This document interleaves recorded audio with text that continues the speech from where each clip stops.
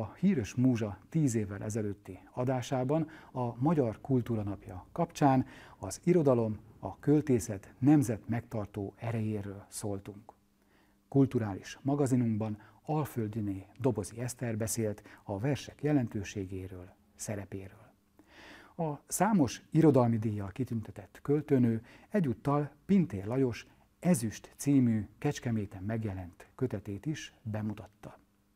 Kedves nézőink, az Annó mai adásában ezt a beszélgetést idézzük fel ismét.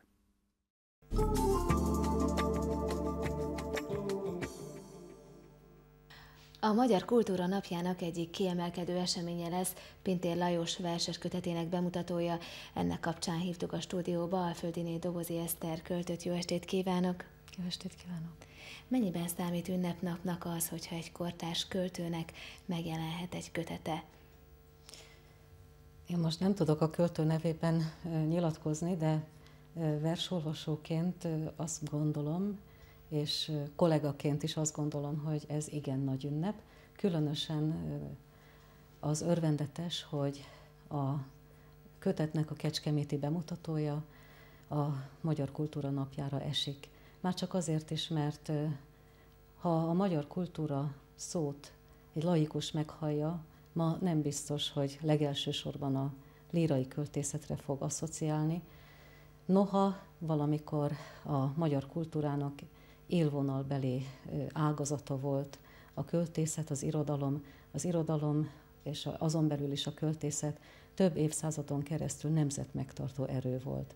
Ma nagyon kevés ember olvas verseket, legalábbis így tudjuk, mi, akik az alkotói vagyunk ezeknek a műveknek. Itt Kecskeméten milyen státusza van a költészetnek? Ön hogyan látja, milyen rangon működik itt az irodalom, a költészet? Van-e megtartó erő, ami az olvasókat esetleg költészetre, költészet olvasására buzdíthatja? Hát azt gondolom, hogy az ilyen törekvések, mint aminek a kicsúcsosodása az is, hogy itt most a Magyar Kultúra napjára illesztettek egy olyan könyvbemutatót, amelyen két irodalmár is szerepel ezen belül, egyikük költő. Ez valószínűleg arra fogja a gondolkodó embernek a figyelmét terelni, hogy a költészet igenis ott akar lenni továbbra is a magyar kultúra fontos tényezői között. Azt hiszem, hogy nagyon nagy jelentősége van azoknak az alkalmaknak, amikor az olvasóközönség, a lehetséges olvasóközönség találkozhat a szerzővel. De úgy gondolom, hogy nagyon sokat tehet az iskolai oktatás is a költészet szerepének megőrzéséért. A magyar nyelv és irodalom szakos tanárokon nagyon sok múlik, hogyha ők hittel és elkötelezettséggel közvetítik, és valóban közvetítik, nem csak tananyagszerűen, hanem az élményt is képesek közvetíteni az irodalomból, akkor ennek biztos, hogy lesz a tanítványok felnőtt korában is hozadéka. És úgy gondolom, ha már itt a televízióban ülünk, a médiának, a rádiónak, az írott sajtónak is, és a televíziózásnak is nagyon nagy jelentősége lehet a, abban, hogy felhívja az olvasóknak és a nézőknek a figyelmét egy-egy új kiadványra. Beszéljünk akkor egy kicsit a kötetről. Mi a benyomása róla? Ön már olvasta. Mi a kedvenc verse mondjuk belőle? Van-e ilyen? Valóban olvastam ezeket a verseket, amelyek Pintér Lajos Ezüst című kötetében egybefoglaltatnak most. Legelőször is nem a kötetben találkoztam velük, hanem azokban a folyóiratokban, ahol Pintér Lajos rendszeresen publikál, hiszen többen is ugyanezekben a folyóiratokban publikálunk, és ott egy-egy darabbal találkoztam, egy-egy költeménnyel az elmúlt években ebből a gyűjteményből, de egészen más így olvasni a költeményeket ciklussá szervezve, ciklusokká rendezve, és egy ilyen szép kiállítású kötetté egybefoglalva, úgy gondolom, hogy a költemények így egymást erősítik, kiemelődnek bizonyos motivumok, amelyek ismétlődnek, hatnak egymásra ezek a különböző versekben előforduló motivumok, és gazdagítják a jelentésvilágokat azáltal, hogy egymás mellé kerültek a költemények. Mennyiben kecskeméti költő Pintér Lajos, hadd kérdezzem meg ön szerint? Azt gondolom, hogy aki Kecskeméten él, és ismeri azt a közeget, ahol Pintér Lajosnak az ihlet forrásai előfordulnak, mondhatja azt, hogy kecskeméti költő, de tegyük fel, hogyha egy nem kecskeméti olvasó veszi kezébe ezt a kötetet, vagy Pintér Lajos bármelyik kötetét, akkor nem elsősorban a kecskemétisége miatt olvassa, hanem mint magyar kortárs költőt.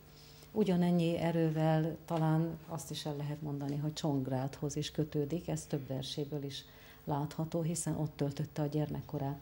De hogy visszatérjek a kérdésre, valóban vannak benne olyan oldalak, amelyek ezt a kecskeméti kötődést hangsúlyozzák. Például ez az Ezüst című kötet címet is adó költemény, így kezdődik.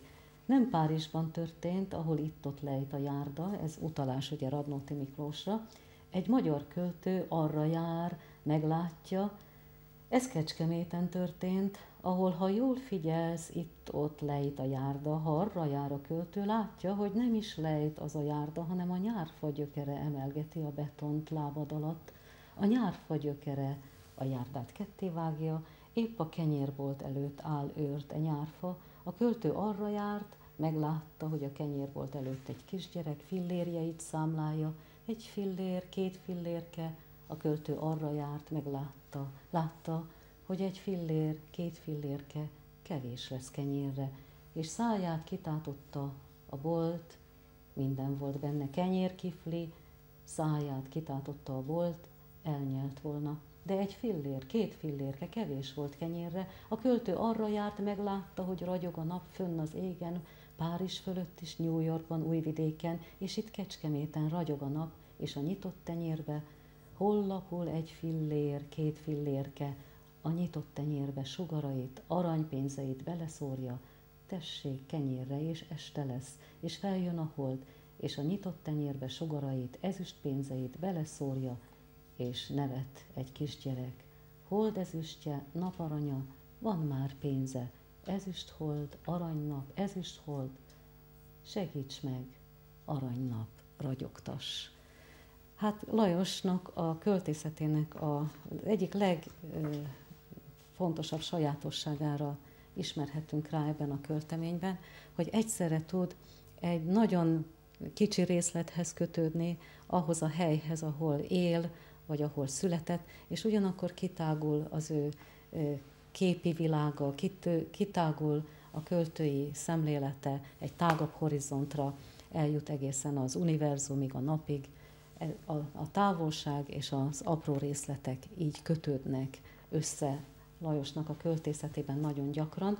Egyébként erről a versről még annyit hadd mondjak el, hogy valóban van egy hely a házuk, lakásuk közelében, én is sokszor járok arra, mert nem messze lakunk tőlük, valóban van egy hely, ahol való tényleg a nyárfa gyökere miatt lejt a járda, ismerem én is ezt a tájékot.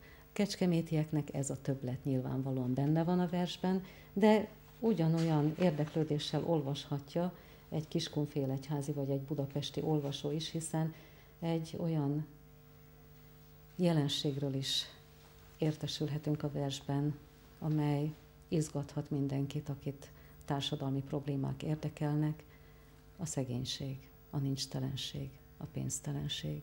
Ez is benne van a versben. Köszönöm szépen, hogy eljött. Remélem, hogy sok-sok embernek sikerült kedvet csinálunk a könyv elolvasásához. Köszönöm szépen. Én is köszönöm.